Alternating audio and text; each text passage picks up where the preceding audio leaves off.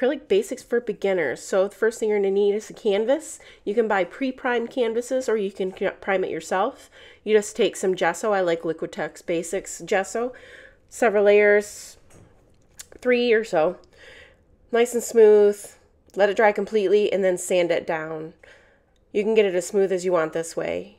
And you're also going to want a fine mist sprayer. Absolutely essential in painting with acrylics. Acrylics dry very quickly and this makes it so that you can do wet into wet technique and keep the paint dry essentially for as long as you'd like. The mop brush, I use a blush brush because it sheds less, but this will smooth out any brush strokes that you have and give it a softer edge. You're going to want a palette and there are several different kinds or you can do it redneck style, which works just fine. You're also going to want water, not just for your fine mist sprayer, but also to clean your brushes and to wet your brush because I I dilute my paint almost always. I take it and I dip my brush in water, dab it on the, the paper towel, and mix it in until the paint is kind of a ink-like consistency.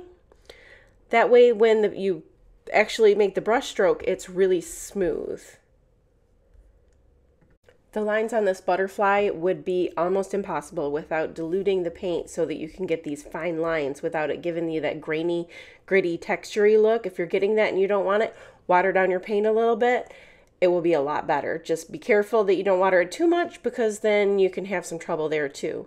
And here I'm using some watered down paint to create like a glaze-like effect and I'm like blending it in with the other color. A lot of painting is manipulation of the paint.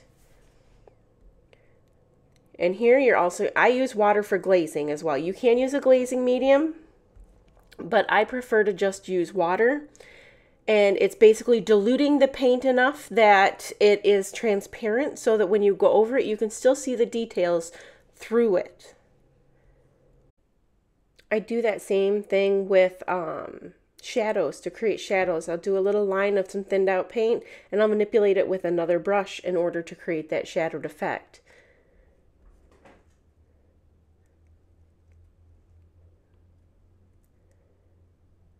The mahl stick is essential because I have to rest my hand on something and you do not want to rest your hand on the painting as it will leave smudges and you'll, you'll end up wrecking your painting and your hands.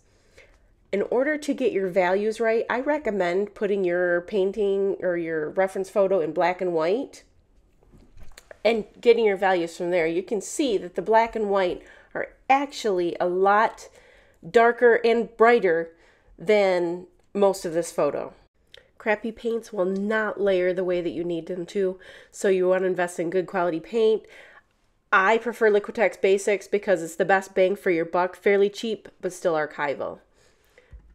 Transferring your image, I recommend either projector or tracing and transfer paper as you do not want to leave a bunch of drawing, eraser, weird marks all over your canvas as it can show through your final work.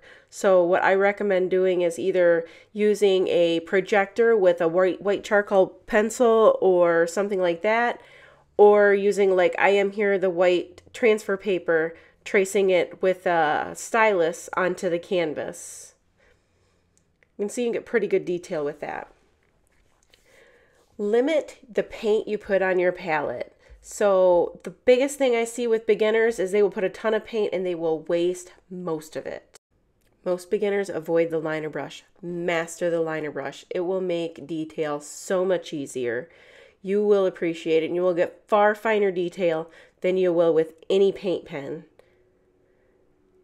And one big thing with beginners don't get stuck as a beginner. Beginner paintings have their time and place, but some people just keep doing beginner paintings and then they never progress. If you're not at least a little bit intimidated by what you're doing, it's probably too easy for you. Nothing will teach you like experience. So the more you practice, the more you will learn. And I know I I'm big. I love watching other people paint, so I spend a lot of time watching the videos, but nothing will teach you like experience. So, although those are good and you will learn a lot from them, practice, practice, practice. Nothing will beat that. If you enjoyed this video, please give it a like and subscribe. And make sure you leave in the comments anything else that you'd like to see. Thank you for watching.